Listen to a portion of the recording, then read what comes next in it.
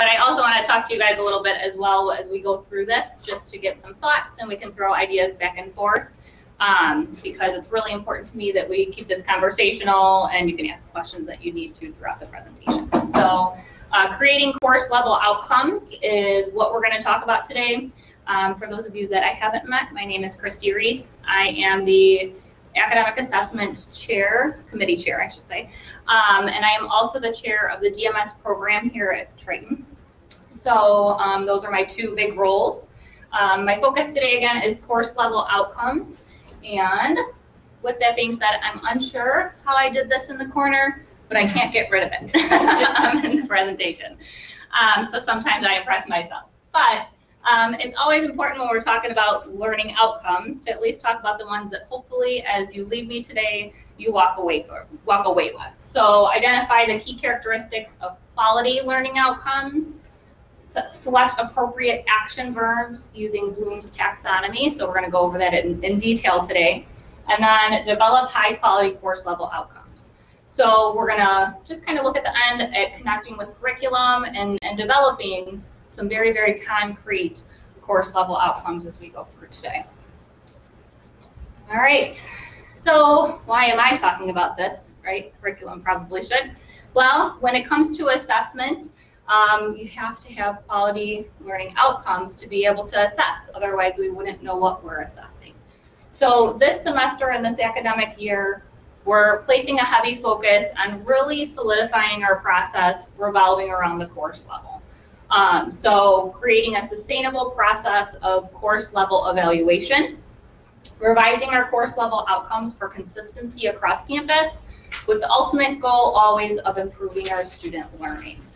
So um, for those of you that haven't been a part of the process over the past several years, we've really worked hard at solidifying our outcomes at the general education level, at the program level, and now we've made it to course. So um, again, with a focus on just making things clearer and more consistent across campus um, in our evaluation.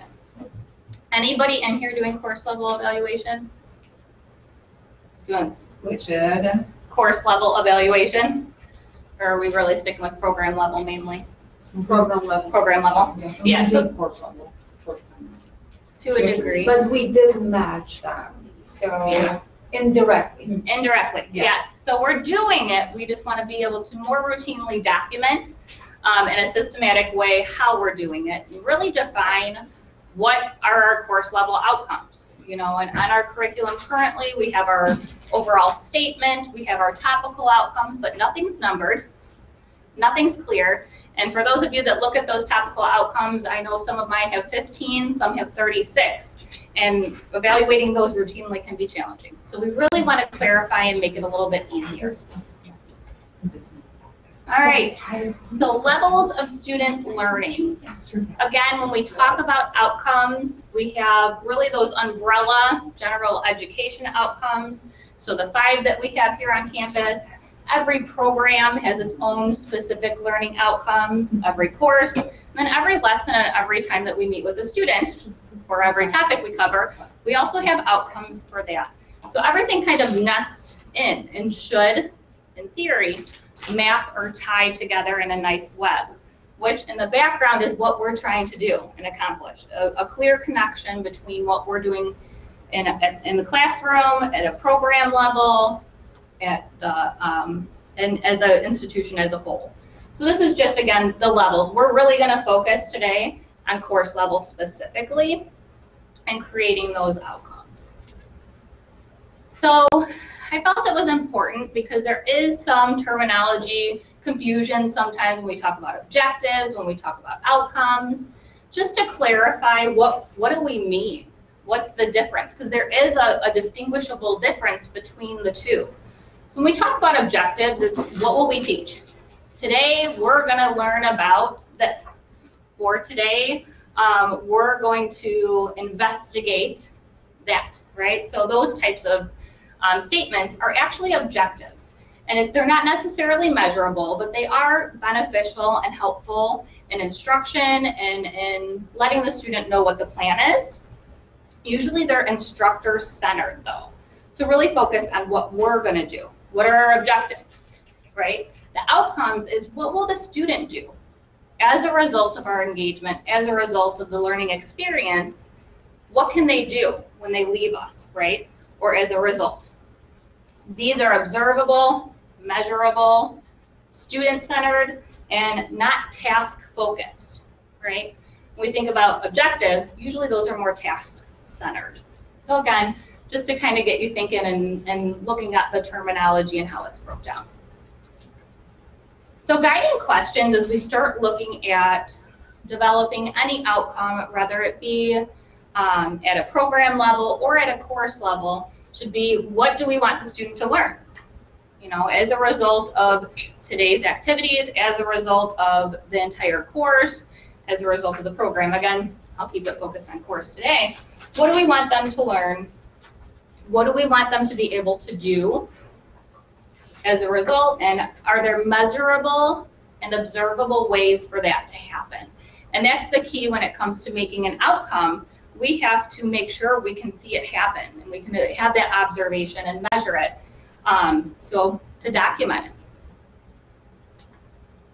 So I, I have looked at a lot of different resources, but I really like that University of Wisconsin on their learning outcome page had what they called SMART course learning outcomes. And it's just an acronym for five key relevant things that should exist when we do do our high quality course learning outcomes. Specific, so they should be very targeted, they should be very, very specific to what we want to accomplish, or what we want students to accomplish more so. They should be measurable. So to say something's happening, we have to be able to measure that ability. Achievable, relevant to current practice, to current industry, to current real life evaluation, and time sensitive. I really love time sensitive because sometimes we have the greatest ideas, but they're just not really realistic for our small, short time that we have with students, right? Now, we can build, if we have courses that build on one another in a program, we can start building those types of outcomes for our students at the higher level.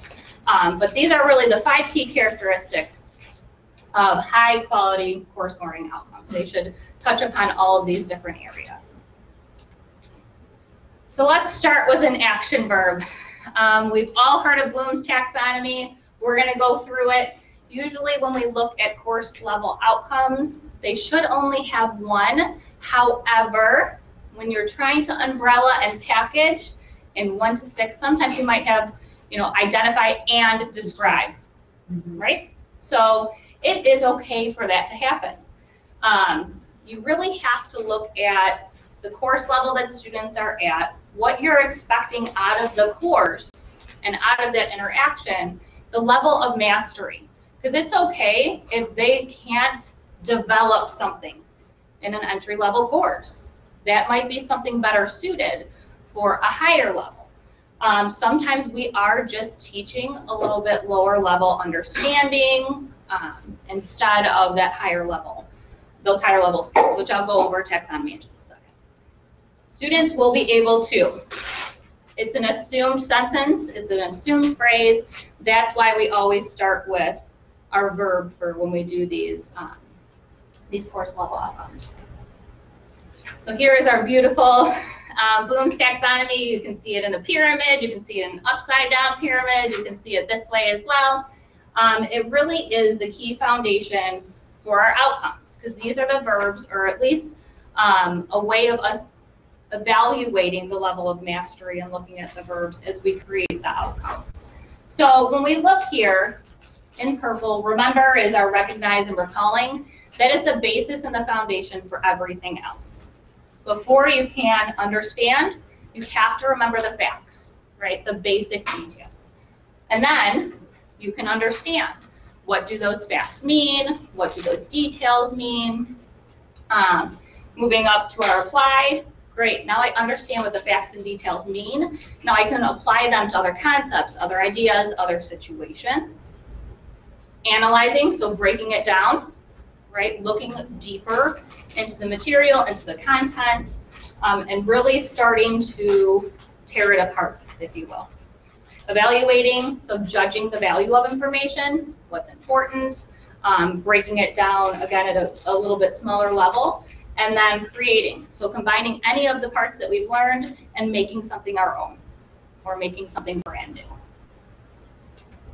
So, again, you have to look at the level of, of learning or mastery that you're expecting from the course as you start to create these. So when you start with your outcomes, if remembering's okay, again, I just gave six examples of words that relate to each of these categories. So when we remember, we recall, we select, we define. We've usually had that definition, right, to define that. We describe it, identify it, or label it.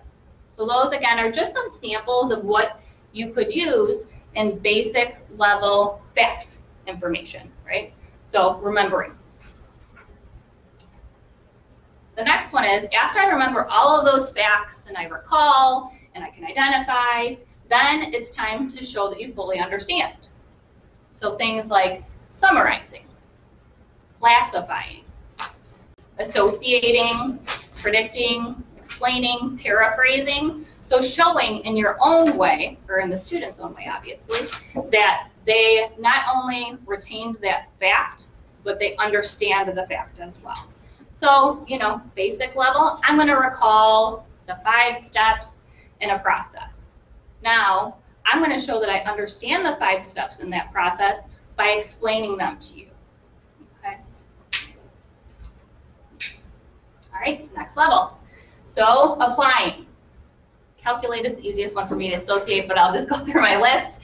Calculate, examine, solve, select, organize, and produce.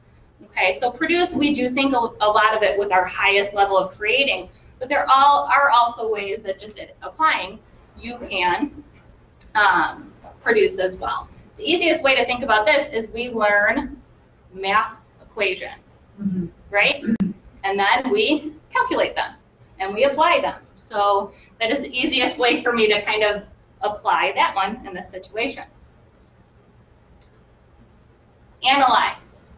So after that, we can move on to identifying, differentiating, categorizing, combining, discriminating, illustrating. So really breaking down the material, breaking down the facts, breaking down what we understand, and reorganizing it or chunking it, if you will, into different um, patterns.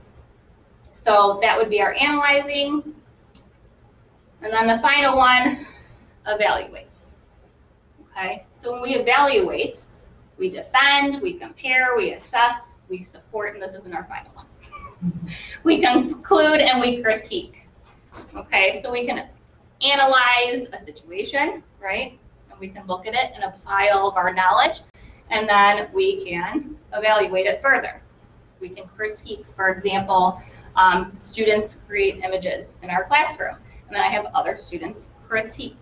The ability for them to take that knowledge base that they have of the material we've covered and critique others' work or their own work. Now we're finally at the final one for real. So create, compose, develop, formulate, assemble, design, cultivate. So they are taking all of their knowledge and building something new. They're not taking old works, they're not taking somebody else's work. Um, you know, developing a, a plan for a robotics project, for example. Creating something new from all of the experiences and interactions that they've had along the way.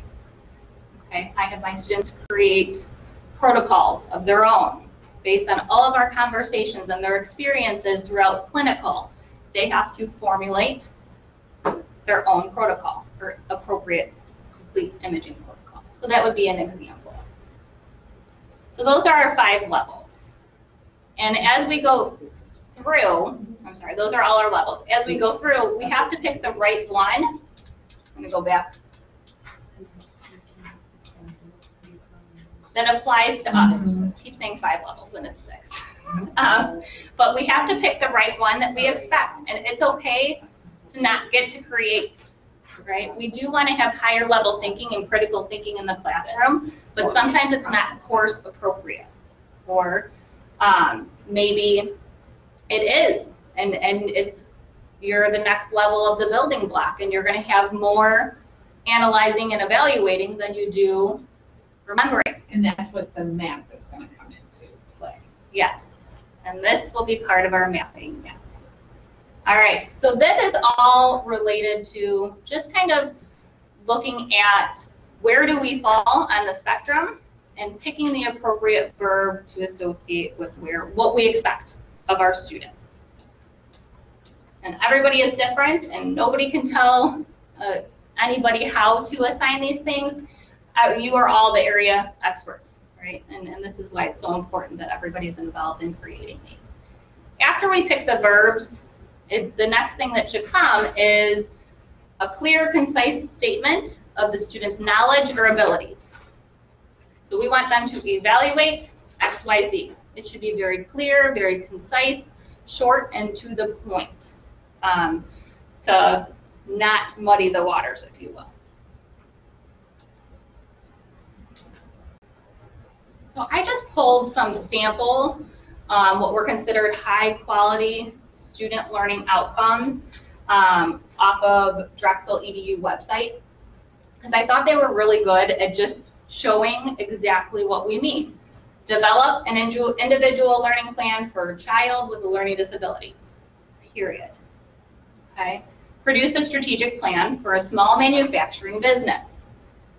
The nice thing about these is that they are, they have the verb, but they're also very clear and concise, right? They're not vague to where develop a strategic plan. For what? Right? So they're specific enough, but also leave ability for instructors to have their own choice in how they do this in the classroom. Okay? Um, analyze a character's motivation and portray that character before an audience.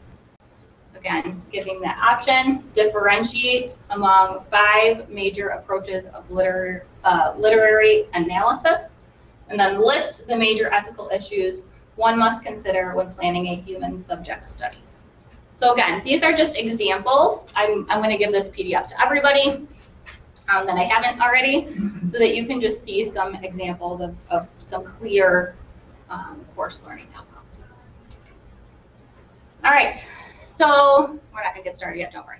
Um, when it comes to this, there's a few key steps that I think are important that everybody should really consider. The first would be connecting with your current curriculum. We have curriculum already, and I'm going to show you some key places to look for how to develop these. Um, and the current outcomes, evaluate them. Are they relevant to what you're currently doing, or do we need to do some revision? Because I can tell you, I'm doing this right along with all the assessment fellows, because I am an assessment fellow as well as the chair. And I've seen things where I'm like, huh, yeah, that's we need to change that. That that's not relevant to what we're currently doing. Um, it's old practice, or maybe we've added something new, and now I, I realize I need to revitalize things. So take the time to do that. That's the best time is when you're already there. Collaborate with fellow faculty. Well, there's nothing better than those that teach the same thing as you giving their opinion, going back and forth. What do you think is important? What do you think is relevant? um, to, to this course in online environment and face-to-face environment, because sometimes they can be a little different. Um, what, what do we value as faculty that, that provide this educational experience? And then develop the new course outcomes. So take the time to really dive in, evaluate what we're doing, think about what's happening in the classroom, collaborate with those around you, you know, fellow faculty um, and chairs for sure and then start developing your work. So, just an example. This is my own. It is not great, but it's a good example of, of breaking it down. So upon, this is the current overall learning outcome as on our curriculum. Upon successful completion of this course, the student will be able to understand the physical principles utilized in various imaging modalities in healthcare today. Types of energy, and their utilization, conversions of units of measure, formula calculations, and various wave types. when I read that, I'm like, goodness, I'm not course level assessing this Mhm. because what am I assessing? Understanding of everything? Um, it, it's very non-specific. So the key thing that stood out to me, I put on the next slide, was that understand that's really the only verb in there. And I apply it to six other things. Um, so there's no real adjustment or anything that I can measure about that statement. So after looking at that, I went to this. This is topical outcomes for that course. I think I might have chopped off one section, but nonetheless, if you look at it, 1, 2, 3, 4, 5, 6, 7, 8, 9, 10, 11, 12, 13, 14. And this is a one credit hour course. So, and I think I chopped off a portion. How am I going to reasonably, every three years, which is hopefully going to be our final cycle that we come up with, evaluate all 14 things reasonably, right? That, that's not a realistic expectation. Um, every, you know, year to do three, four, five, six, just to get it done um, in, a, in a quality way. So what I did was I took that original statement, realized that certain things maybe weren't worded correctly, um, weren't relevant to what was the key things that I wanted students to get out of this course, and I came up with this. Four. Upon successful completion of this course, the students will be able to, so that's our assumed statement. CLO 1, explain basic physics quantities. When I say that, I'm going to go back here, that covers my entire top row, entire top area. I can pick, do I want to evaluate based on, you know, work? Do I want to evaluate based on power? What unit within there am I going to use? Or can I use multiple? Sure. It- It's going to really be up to um, instructor discretion. But it's clear. The next person that comes after me can see CLO1 is, where before it wa- was not clearly defined. CLO2, perform physics calculations and conversions. That happens in every single column on my topical outcome. I don't have to do all of them. I can pick again which section, which area.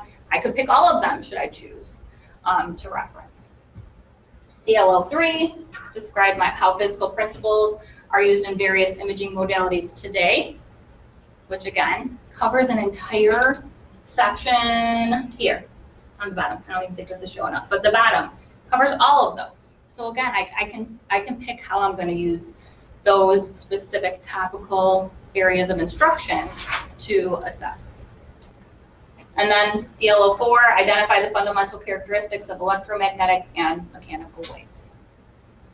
Far more specific for me as someone who's going to be doing assessment, far more specific for a student that comes in, I can't say they, they're not going to, probably not going to look for all those topicals as much as I would love them to, and I do put it in my syllabus.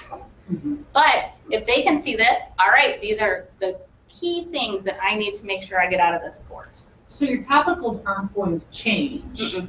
It's just that sentence Yeah. into actual CLOs. Yep, so these will remain.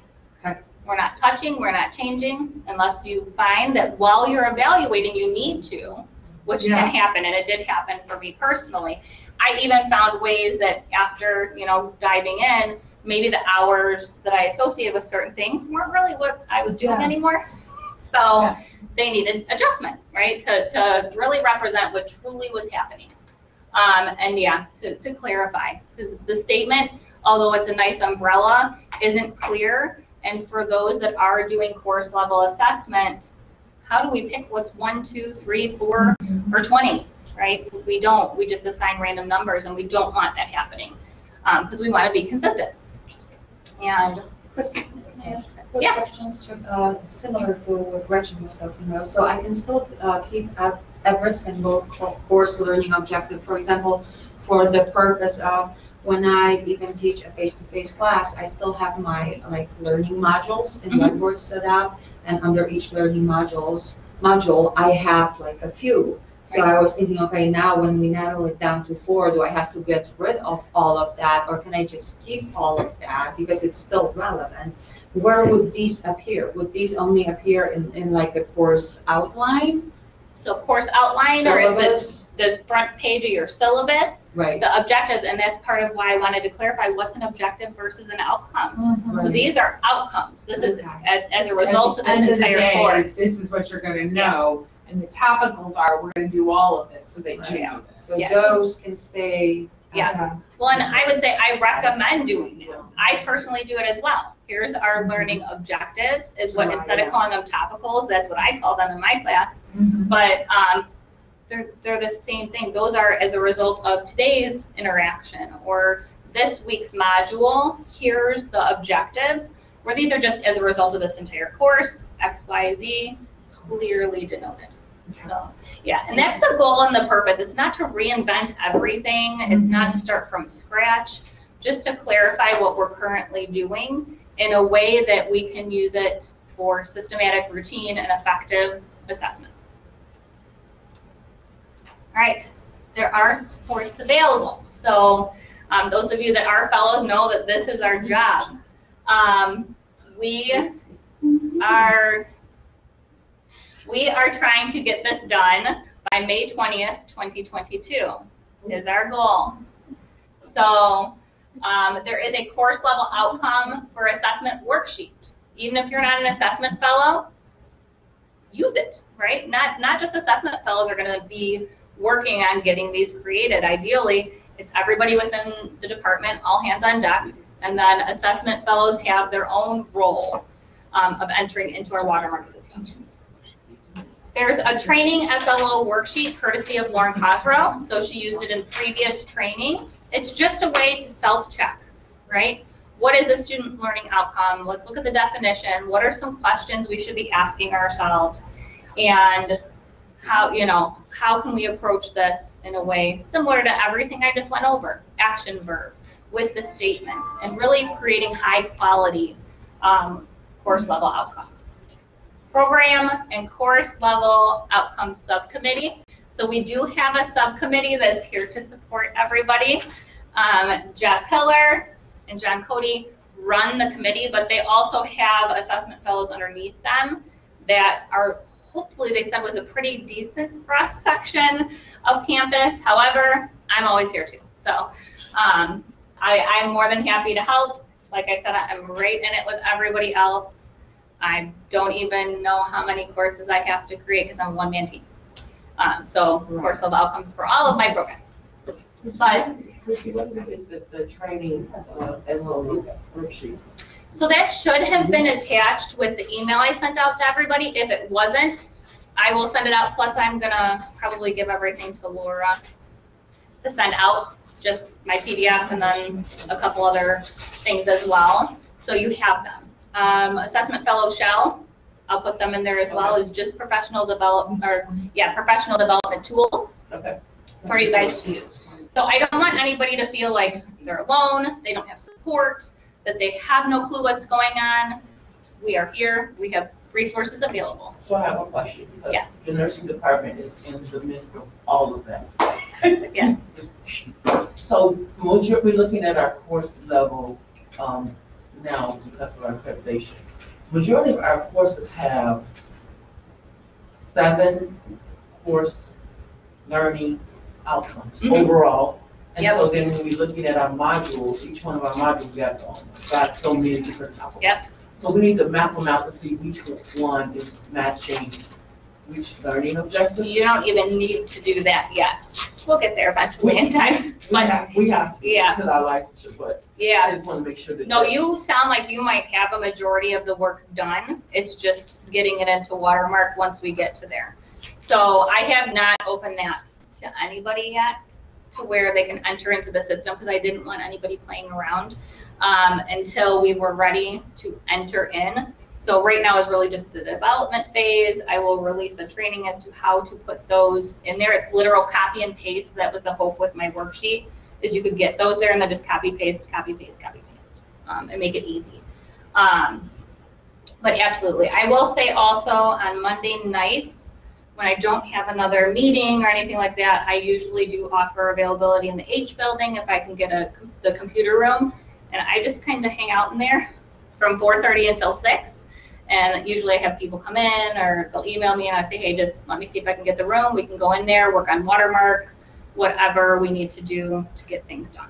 So I'm all, I'm always available. I'm always around, especially on Mondays. All right, questions? What was again the maximum of the uh, outcomes? So ideally, one to six, seven being what we hope to be the max, because you don't want to have too many. I'm sorry, one, one more time. it One, that's okay. One to six was our target, seven was kind of like Max, Okay, the max of what we wanted. Just because again, we want to be able to Right, routinely right. do that. reasonably. And would you, so like if I was teaching a basic intro first semester right out of high school, I'm probably gonna have four. But if I'm doing a end of the program, mastering, blah, blah, blah, I'm probably gonna have, yes, so you're gonna have, you're gonna have six or seven. yeah. And that's where I'm kind of at as I'm getting to the higher level courses. I'm like, Ugh.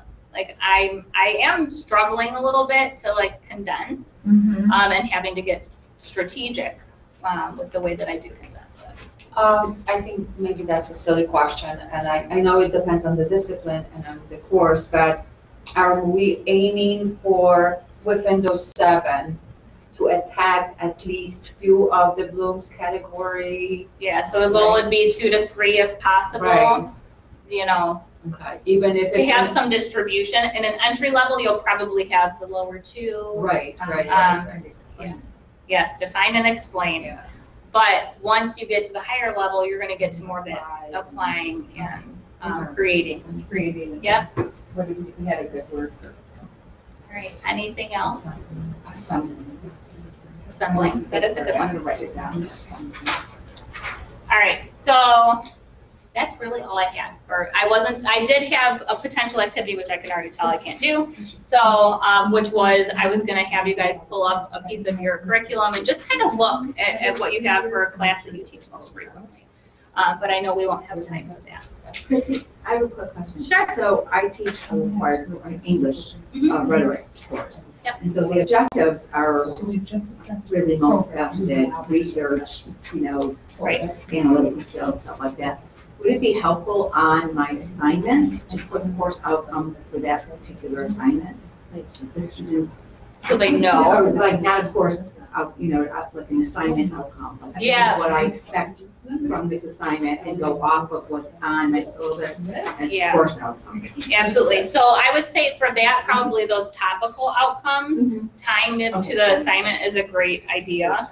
Um, because that, then you can figure out where it falls in the course level outcomes, um, very easily. And maybe even use those as, I usually have them do a self-assessment of how they felt.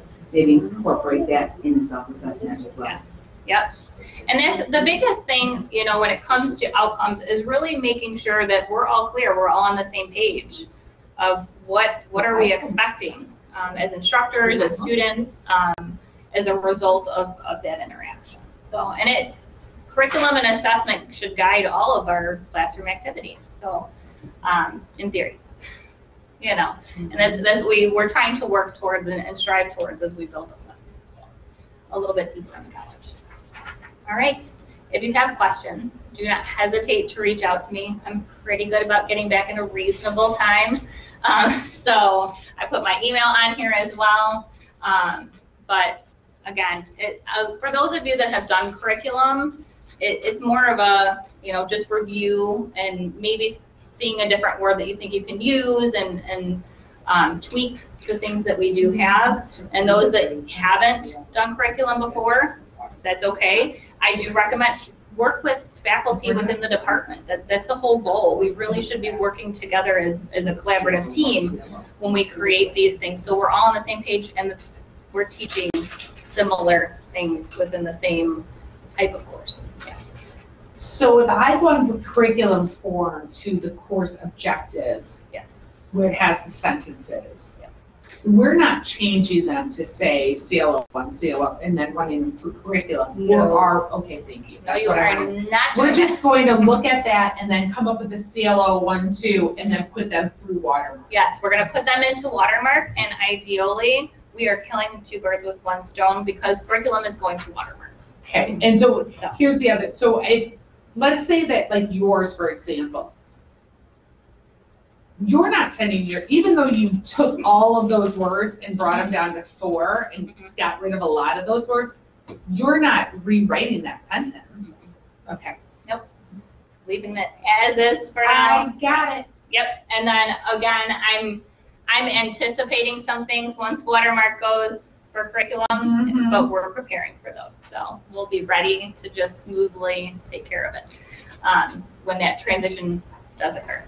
So, Just to clarify, are you sure? So if I have sixteen, I pick one of those, and it becomes one of the CLO, CLOs, Mhm. and I do not rewrite this? mm-mm. Sixteen what?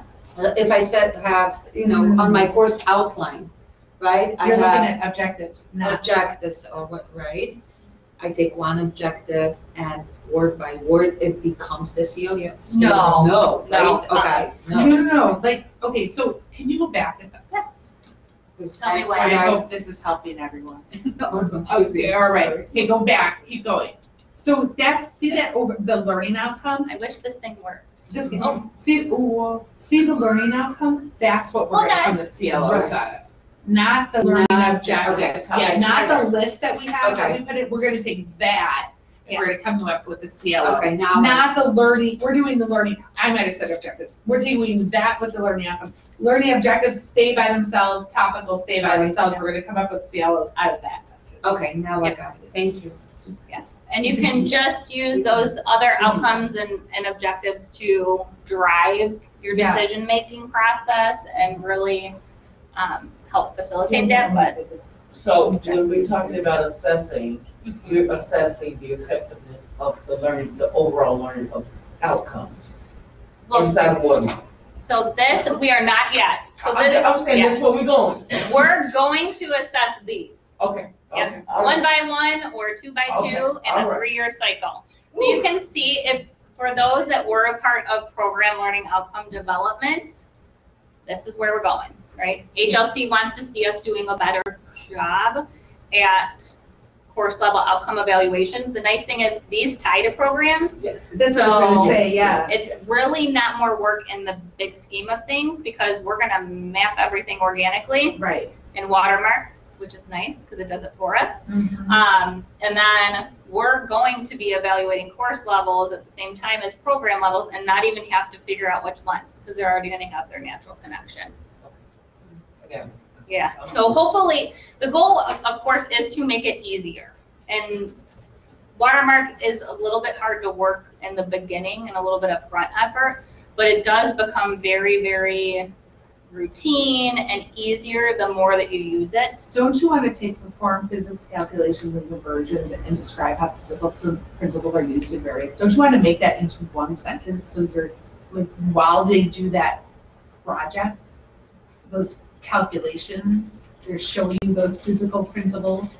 Like I'm like in my mind of like shortening it up for your I don't know I what know, you do to make re- it easier represent it. Yeah, of how you represent that as your assessment. Well, and this, I'm gonna tell you, this only took me maybe thirty minutes. Yeah, but when you assess yeah. it though, then now you've got all the back end work. Yeah, that is true. That is true. because you have to come up with a way to make sure, have, Yep. sure that you're Yeah. doing those things. Well, and so here's the nice thing, for example, I'm gonna say perform physics calculations and conversions, I'm gonna go back here. Um, it happens in, uh, See, that's where. The top of outline number Yeah. three. And- Yep, in number three, right? And And it that, actually um, happens more than there, which is something I'm changing, because Yeah, there's more calculations, there's calculations in column one, column three, and some even in column four. Yeah. So I'm like, I can assess it at any of those levels. right, right, right, right, yeah. No, and that's what I was just saying to Justina, is it's, it will be, you, you can really look and see how your course is Right. really like, I see. how it's doing, how, and this is all, all of this is part of backwards design too and course development. Like Mhm. quality course development is so rooted in our outcomes and really connecting with the curriculum. Um, so when I, I say this, how do we connect to curriculum, connect, and they're like, okay, Christy, you're crazy. Um, but right. it's so true, is, is what are we supposed to be teaching? Because sometimes I, I'm guilty.